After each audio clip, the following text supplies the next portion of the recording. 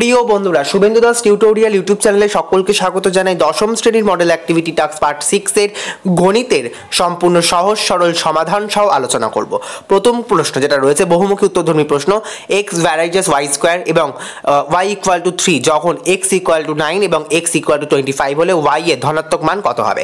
তো X varies as Y square বা X equal to K Y square K এখানে হচ্ছে ভেদ ধ্রুবক তাহলে এখন কি বলেছে এক্স ইকুয়াল টু নাইন যখন হবে, তাহলে ওয়াই ইকুয়াল টু থ্রি হলে nine equal to K three square বা nine K equal to nine তাহলে কে ইকুয়াল টু ওয়ান তাহলে X equal to Y square এটা এক নাম্বার তাহলে এক নাম্বার সমীকরণে এক্স ইকুয়াল টু পঁচিশ বসিয়ে পাই, কি পাবো? পঁচিশ ইকুয়াল টু ওয়াই স্কোয়ার তাহলে ওয়াই স্কোয়ার ইকুয়াল টু পঁচিশ বা Y equal to plus minus five তাহলে সঠিক উত্তর কি? অপশন এ ফাইভ সঠিক উত্তর।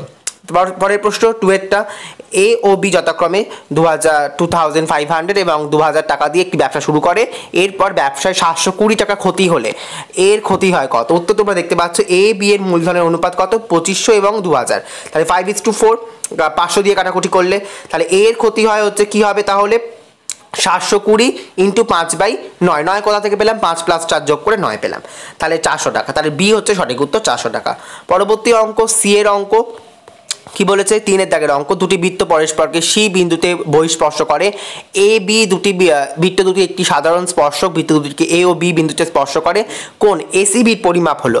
তোমরা স্ক্রিনে দেখতে পাচ্ছ, কোন এসিবির পরিমাপ, একটা বৃত্ত, দুটো বৃত্ত আঁকা রয়েছে। কোন ত্রিভুজ এবিসির এবি ইকুয়াল টু সিডি এবং ত্রিভুজ বিসিডির ডিবি ইকুয়াল টু ডিসি তাহলে কোন এসিডি ইকুয়াল টু কোন এসি ডিএসি কোন বি বিসিডি ইকুয়াল টু কোন বি বিবিসি এখন কোন ACB plus DAC plus BCB plus DBC equal to একশো আশি ডিগ্রি বা কোন ACD plus ACD plus BCD plus BCD equal to একশো আশি ডিগ্রি বা কমন চলে গেল two ACD plus two BCD equal to একশো ডিগ্রি বা two ACD plus two BCD equal to একশো ডিগ্রি একশো আশি ডিগ্রি সরি টু তাহলে কোন টু কোন এসিবি ইকুয়াল টু একশো আশি ডিগ্রি বা কোন ACB equal to ninety degree half হয়ে গেল দুই দিয়ে একশো আশি ভাগ করলে নব্বই, তাহলে সঠিক উত্তর কি? নাইনটি ডিগ্রি ডিএটটা চারের দাগের অঙ্ক, একটি নিরেট অর্ধগোলকে সমগ্র দলের ক্ষেত্রফল একশো সাতচল্লিশ। পাই বর্গ সেমি হলে ওয়ার ব্যাসার্ধ হবে। তোমরা লিখবে হচ্ছে, সমগ্র দলের ক্ষেত্রফলের ফর্মুলা কি? Three five three pi R square তাহলে three pi R square equal to একশো সাতচল্লিশ পাই পাই পাই কেটে গেল, তাহলে three R square equal to একশো সাতচল্লিশ বা আর স্কোয়ার ইকুয়াল টু একশো সাতচল্লিশ বাই থ্রি তিন দিয়ে একশো সাতচল্লিশ কাটাকুটি করলে উনপঞ্চাশ হয়। তাহলে R square equal to forty nine তাহলে R equal to root over করলে সেভেন হয়ে যায়। ফর্টি নাইনের root over seven into seven তাহলে সেভেন তাহলে ওয়ার ব্যাসার্ধ কত? সাত সেমি তাহলে অপশন সি হচ্ছে সঠিক উত্তর। পরবর্তী অঙ্ক টু ফলস দিয়েছে। দুয়ের দাগের এক সত্য বা মিথ্যা নিরূপণ করো। ও কেন্দ্রীয় বৃত্তের বৈশিষ্ট্য বিন্দু এ থেকে বৃত্তে দুটি স্পর্শক আনা হলে, যারা বৃত্তকে যথাক্রমে বি ও সি বিন্দুতে স্পর্শ করে ওয়া হলে ও এ বিসি এর লম্ব সমদ্বিখণ্ডক হবে। এটা তোমরা কিন্তু তোমাদের বইয়ের দুশো তেরো নম্বর পৃষ্ঠায় বারো নম্বর প্রয়োগে তোমরা কিন্তু পেয়ে যাবে। এখান থেকেও তোমরা দেখতে পাচ্ছ এটা কিন্তু ট্রু হবে, সত্য। দুয়ের দাগের অঙ্ক। পাশে চিত্রটিতে এস টি সমান্তরাল কিউআর হলে P Q by P S equal to P R by PT হবে। এটাও কিন্তু সত্য। তিনের দাগে শঙ্কুর তির্যক, উচ্চতা কি জানো লেখা রয়েছে, শঙ্কুর তির্যক উচ্চতা, শঙ্কুর উচ্চতা দ্বিগুণ হলে শঙ্কুর ব্যাসার্ধ হবে উচ্চতা ইন্টু রুট থ্রি এটা কিন্তু যেটা হবে হচ্ছে, দেখে নাও তোমরা। L equal to two H বা H square plus R square equal to A square বা R square equal to two H square minus H square বা R square equal to four H square minus X square বা R square equal to three H square বা R equal to root three H তার মানে এই বিবৃতিটাও কিন্তু সত্য।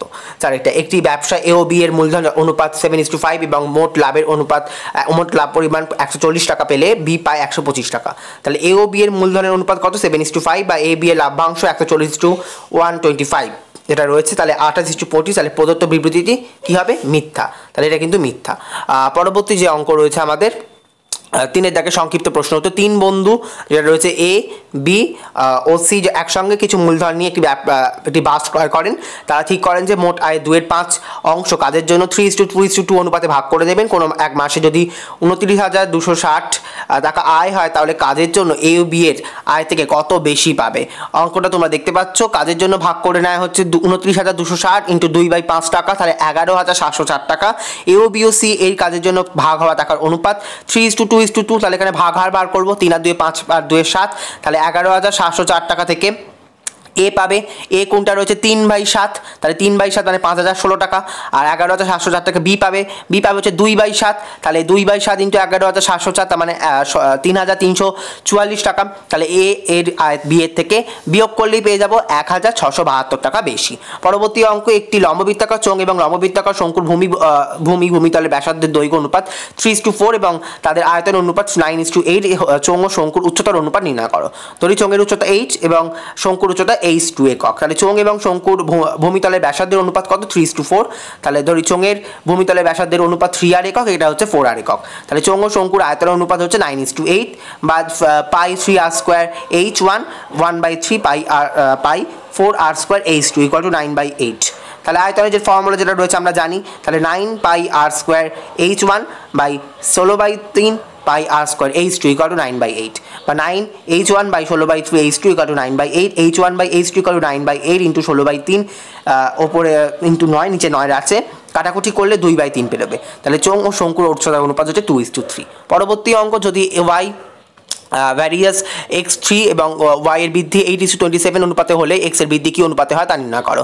Y varies as X X X cube Y equal to K X cube K এখানে অশূন্য ধ্রুবক, তাহলে ধরি ওয়াই যখন এইট ওয়াই ছিল, তখন এক্স ছিল এক্স ওয়ান বৃদ্ধি পেয়ে হয়েছে ওয়াই যখন টোয়েন্টি সেভেন ওয়াই হলো, তখন এক্স হলো এক্স টু তাহলে eight Y equal to K X K X to the power three one এবং twenty seven Y equal to K X to the power three এটা যদি দু নম্বর সমীকরণ, তাহলে এক বাই দুই করে pi eight Y by twenty seven Y equal to K X one three K X two three তাহলে এখানে এক্স এক্স ওয়ান থ্রি আর এক্স টু থ্রি রইল, আর আট বাই সাতাশ রইল ওয়াই বাই কেটে গেছে, কে কে কেটে গেছে? তাহলে এক্স বা X one by X two equal to two by three কী দিয়ে কাটলাম?